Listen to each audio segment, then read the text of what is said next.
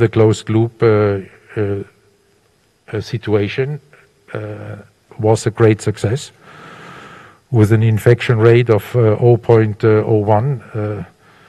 I guess it was one of the safest place on this planet, and this is uh this is a great a great achievement, which I think all of us could make all of us feel safe and comfortable Uh, there. And it may send